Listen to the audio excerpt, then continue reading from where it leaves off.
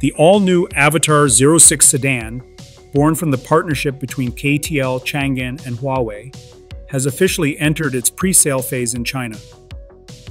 With a starting price of 215,900 yuan, or about 29,750 United States dollars, this sleek electric vehicle brings some exciting options to the market. It is available in both battery electric and extended range electric versions, giving buyers the flexibility to choose what suits their driving style best. The official sales launch is scheduled for April. Avatr is not a new name, but it has struggled to gain traction in China despite backing from major players like Changan and CATL, with Huawei contributing its tech expertise. Since its market debut in December 2022, Avatr has sold only 91,265 vehicles, a modest number given the size of the Chinese auto market. Its current lineup includes the Avatr 11 Fastback, the 12 Liftback, and the 07 crossover. The Avatr 06 is the brand's fourth vehicle and marks a bold new chapter.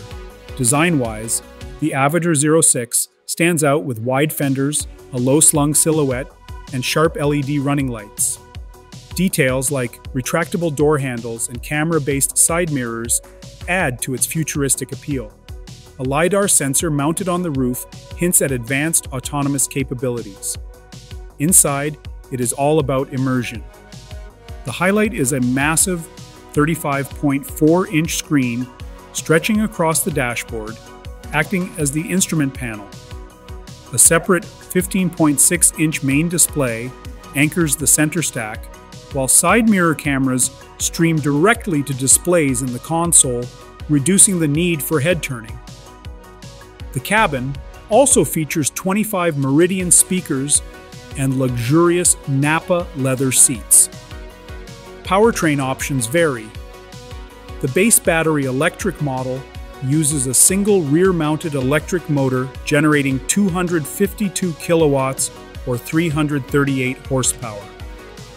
A dual motor version provides all-wheel drive with 440 kilowatts or 590 horsepower. Both use an 82 kilowatt hour lithium iron phosphate battery with a maximum range of 650 kilometers. The extended range electric version features a 231 kilowatt or 310 horsepower electric motor in the rear with a 1.5 liter turbo engine under the hood producing 115 kilowatts or 154 horsepower. Battery options for this model range from 31.7 to 45.06 kilowatt hours, offering 170 to 240 kilometers of pure electric driving.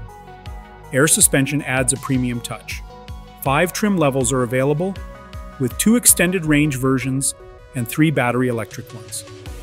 The entry level extended range electric version is priced the same as the base battery electric model. Final pricing for the other versions will be revealed in April when full scale sales begin. Do not forget to like, subscribe, and hit that notification bell so you never miss the latest in cutting edge automotive tech.